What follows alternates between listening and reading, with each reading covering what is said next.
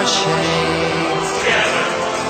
We will find a place where there's so much space.